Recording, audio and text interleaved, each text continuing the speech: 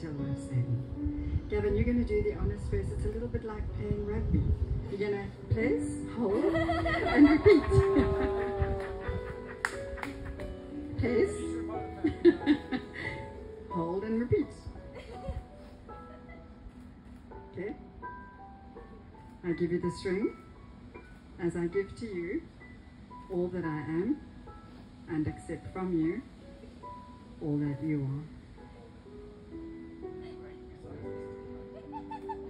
No one said marriage was going to be easy.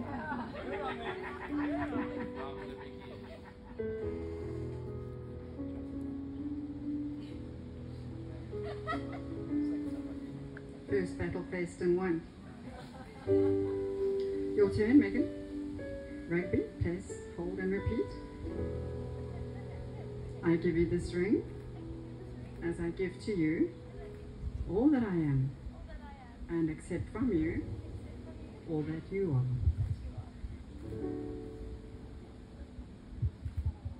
Well done, guys. So before we end and you guys run away and party, I'd like it if you could just indulge me for not even two minutes. I'm going to give you a little bit of advice to send you on your merry way with.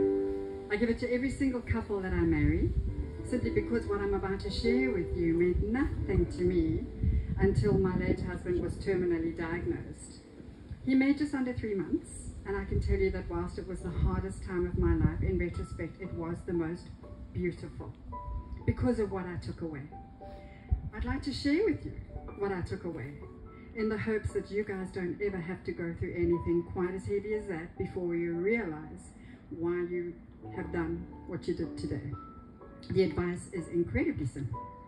It's just to be constantly grateful for the presence of this precious person who's chosen to make a life with you. There are millions of people on this planet who go through their entire lives and they never find what the two of you have found. So I think that's worthy of waking up every day, being so excited and remembering how lucky you got because it could have been very different.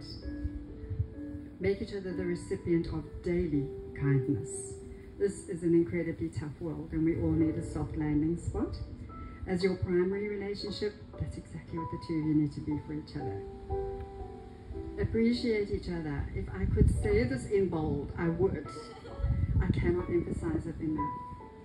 We don't know how much time we have together. Tomorrow is not promised. And the more we express our appreciation for our partner, the more they want to do to get more appreciation. And it's an upward spiral. More important than love, I'm afraid, is respect. Once the respect is gone, everything, it's like dominoes, it just falls. So we need to make sure we do everything we can to uphold our partner's respect. Last, not least, probably the toughest, but the most important is at all times endeavor to make truth the unfailing bedrock of your lives together. A happy, successful marriage can only be sustained through trust and respect, and that can only be maintained by being who you say you are and by doing what you say you will, and that includes bringing home pizza, Megan.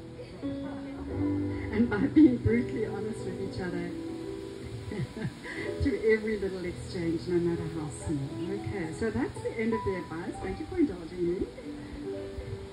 for the two of you, home is not a place, it's a person. And today you've come home. You may now call yourselves by those old and respected names, husband and wife. By the power vested in me, I declare you Mr. and Mrs. Middleton. Gavin, you make us your bride.